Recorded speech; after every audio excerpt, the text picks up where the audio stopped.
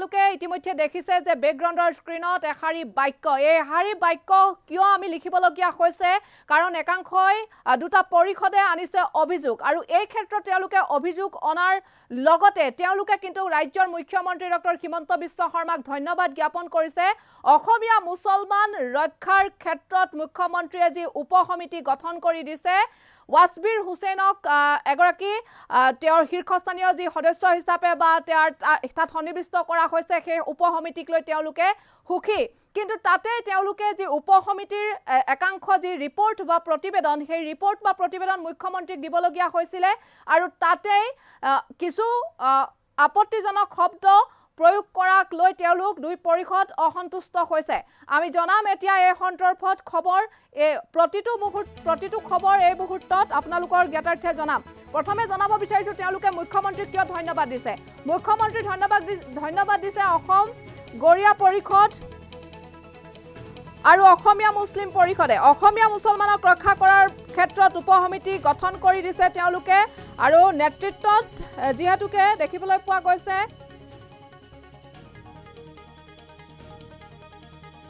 উপ সমিতিৰ অধ্যক্ষ ৱাছবিৰ হুছেইনক লৈ যি উপ সমিতি গঠন কৰা হৈছে তাকে লৈ তেওঁলোকে ধন্যবাদ জ্ঞাপন কৰিছে আৰু কৈছে যে মুখ্যমন্ত্ৰীৰ নেতৃত্বত আমি পোহৰ দখি- দেখিছো।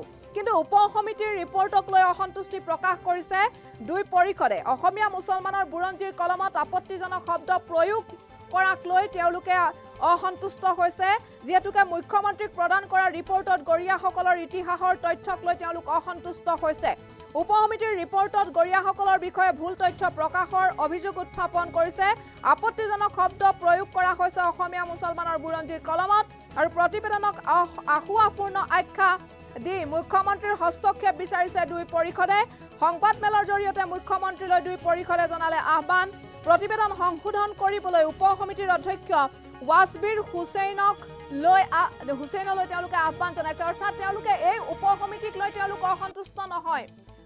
অধ্যক্ষ হিচাপে ৱাছবিৰ হুছেইনক দিয়া হৈছে। তেওঁৰ নেতৃত্বত যি উপ সমিতি গঠন হৈছে এই উপ সমিতিক লৈ তেওঁলোকে আহ, দুখ প্ৰকাশ কৰা নাই বা অসন্তুষ্ট নহয়। কিন্তু যি উপ সমিতিৰ যি ৰিপৰ্ট সেই ৰিপৰ্টত লৈ তেওঁলোকে কিছু অসন্তুষ্ট হৈছে আৰু এই প্ৰতিবেদনক আহুৱাহপূৰ্ণ আখ্যা দিছে আৰু তাৰ পাছতে মুখ্যমন্ত্ৰীৰ হস্তক্ষেপ বিচাৰিছে দুই পৰিষদে।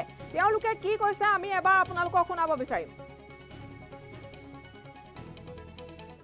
মেইনলি আজি আমি অসম গৰিয়া পৰিষদ আৰু অসমীয়া মুছলিম অসমীয়া মুছলিম পৰিষদ। এই দুয়োটা অনুষ্ঠানে আজি আমি অসমৰ মাননীয় মুখ্যমন্ত্ৰী ডক্টৰ হেমন্ত বিশ্ব ডাঙৰীয়াক আমি আমাৰ সংগঠনৰ তৰফৰ পৰা ধন্যবাদ জনাইছোঁ। এইকাৰণেই শেহতীয়াকৈ হ'লেও স্বাধীনতাৰ পঁয়সত্তৰ বছৰৰ পিছত তেখেতৰ যে এটা চিন্তা চৰ্চা আমালৈকে আহিল যে অসমীয়া মুছলমানক ৰক্ষা কৰিব লাগে সেই সন্দৰ্ভত তেখেতে আমাৰ ৱাজবীৰ হুছেইন ডাঙৰীয়াক চেয়াৰমেন হিচাপে লৈ এটা ছাব কমিটি গঠন কৰি দিছিলে আজি পৰা ছমাহ আগত।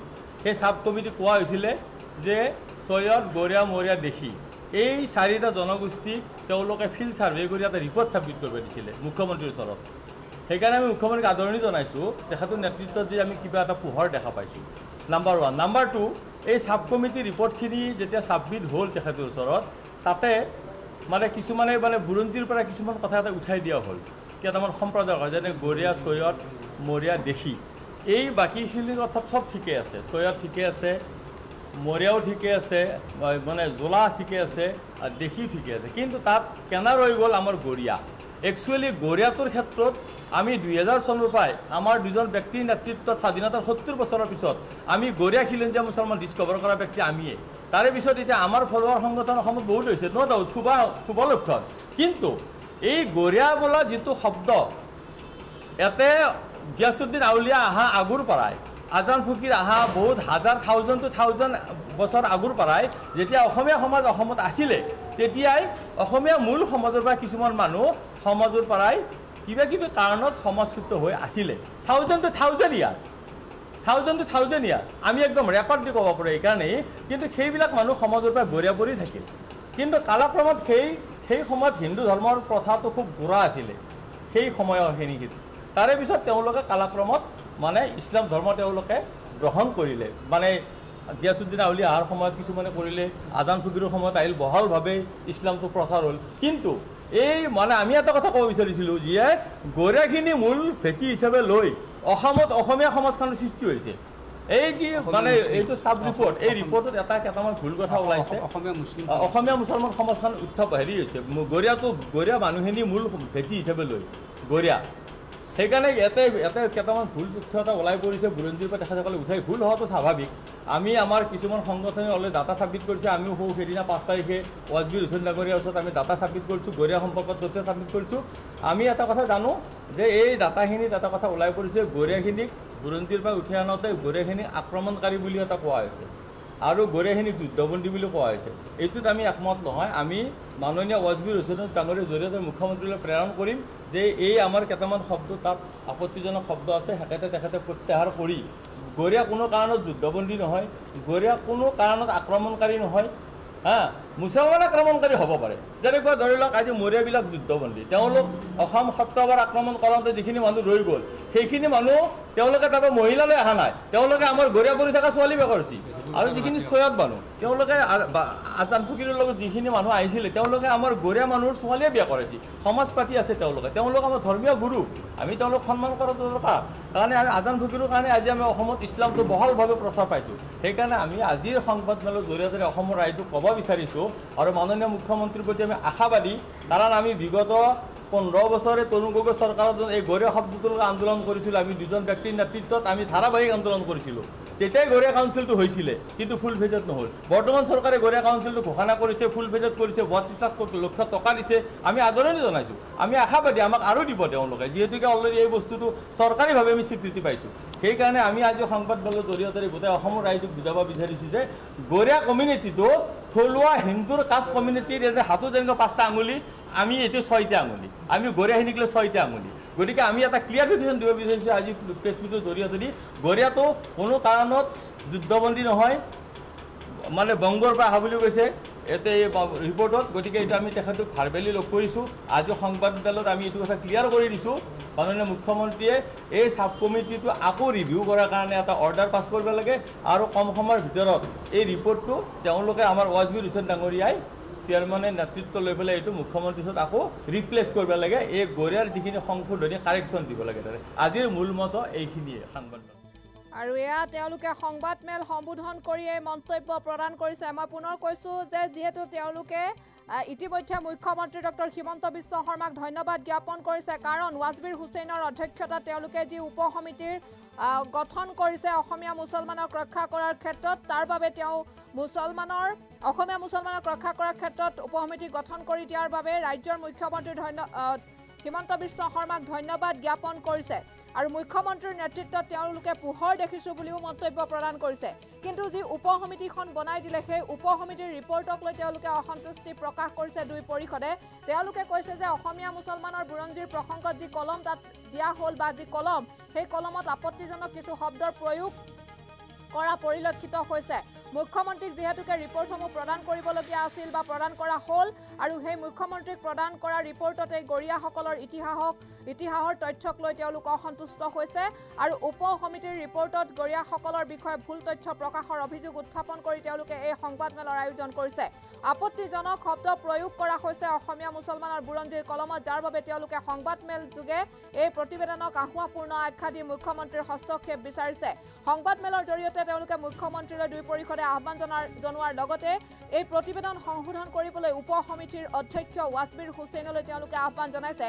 কিন্তু তেওঁলোকে দূষিত নহয় বা অসুখী নহয় বা তেওঁলোকে কোনো তেওঁলোকে এই ক্ষেত্ৰত কোনো অসন্তুষ্টি নহয় যে তেওঁলোকে যি উপ সমিতি গঠন কৰিছে সেই উপ সমিতি গঠনক লৈ তেওঁলোক অসন্তুষ্ট নহয়। কেৱল তেওঁলোকে প্ৰতিবেদন যি আহুৱাহপূৰ্ণ বুলি একাংশ দিশত যি দেখিছে অসমীয়া মুছলমানৰ যি বুৰঞ্জীৰ কলম তাত অনা হৈছে বা লিখা হৈছে তাত আপত্তিজনক যি শব্দ প্ৰয়োগ কৰিছে সেইসমূহকহে তেওঁলোকে আহুৱাপূৰ্ণ আখ্যা দি এই ক্ষেত্ৰত যাতে প্ৰতিবেদনখন সংশোধন কৰে তাৰ বাবে উপ সমিতিৰ অধ্যক্ষ ৱাছবিৰ হুছেইনলৈ তেওঁলোকে আহ্বান জনাইছে। এই মুহূৰ্তত আকৌ মন্তব্য শুনাম।